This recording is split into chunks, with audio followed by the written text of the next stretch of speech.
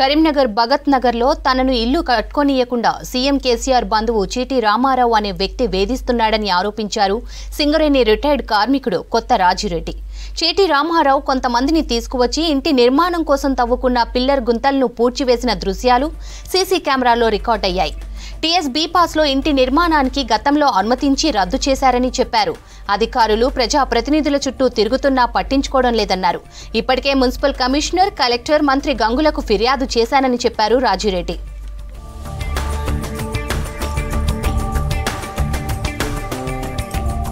తనంలో కూడా మేము ఇంటి నిర్మాణం పనులు చేపట్టామన్నా రెండు రోజుల నుంచి పనులు చేసుకుంటే క్రమంలో ఇవాళ అర్ధరాత్రి జీటీ రామారావు టిప్పర్ నిండా మట్టి తీసుకొని వచ్చి అర్ధరాత్రి దొంగతనం వచ్చి ఆ హోల్స్ అన్ని ఊడిపేసి వాటిని చిందరవందర చేసి వాటిల్లో టిప్పర్తో తీసుకొచ్చి మట్టి ఊడిపేసారన్న. ఊడిపచ్చి ఇక్కడ పక్క పంట వాళ్ళు వాళ్ళు వీళ్ళు ఎందుకు ఊడుతున్నారు అది అంటే వాళ్ళని కూడా కొట్టడం జరిగింది. వాళ్ళు ఫోన్ చేసిన వెంటనే మేము ఉరికొచ్చినామన్నా ఇక్కడ ప్లాట్ దగ్గరనే ఉంటాం. ఇట్లా ఎన్ని ఎన్ని రోజులు గుండాయం చేస్తారన్న ఈ కరీంనగర్ టౌన్లో మినిస్టర్ పేరు చెప్పుకుంటూ మినిస్టర్ మనసులమని మరి మినిస్టర్ గారి దగ్గర కూడా నేను ఒక ఐదారు సార్లు పోయినా.